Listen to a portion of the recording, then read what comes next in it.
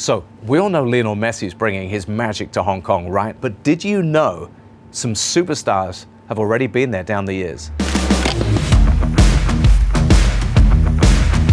You know, the funny thing is, everyone's all excited about Lionel Messi coming to Hong Kong for Tatler X Fest, and rightly so. But I don't think a lot of people know that actually Hong Kong, for some reason or other, has attracted some of the biggest names in football down the years. And I know because I've watched most of them. Pele was the first, and I can't honestly say I saw Pele play in Hong Kong, but he went there in 1969. He was with Santos, his Brazilian club. And speaking about World Cup winners, his captain, Carlos Alberto, he played as well. Franz Beckenbauer German World Cup winning captain. He played in Hong Kong. All of these teams used to go there and play exhibition matches. So you saw Eusebio, the Portuguese legend, he was with Benfica, he played there. Bobby and Jackie Charlton, England World Cup winners, they also played matches there.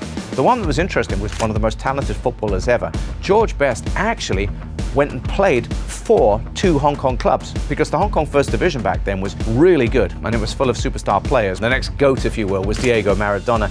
And he actually went to Hong Kong when he was a kid. He was very young. He was with Boca Juniors. Played absolutely brilliantly. The next memory I have of superstars going to Hong Kong had to be that infamous time in 1996 when the England Euro squad was there. It was great to see the likes of Alan Shearer, Robbie Fowler, Paul Gascoigne. More recently, the Premier League Asia Trophy went to Hong Kong three times, so that meant that the likes of Liverpool, Chelsea, Tottenham Hotspur all went and played in Hong Kong, and they brought some great players with them. I was actually there the day that Fernando Torres made his debut for Liverpool. First ever appearance for them came in the Hong Kong Stadium. We saw Steven Gerrard, of course, playing for Liverpool in that competition. Chelsea came along. They had Mo Salah as a Chelsea player back then. He played in Hong Kong for them. Uh, Didier Drogba was there, Terry, Lampard, all the stars, again, playing in Hong Kong. And of course, that brings us nicely back to Lionel Messi, because he actually came to Hong Kong back in 2014 with Argentina, already a superstar. Everyone was watching Messi back then. He didn't let anyone down in Hong Kong.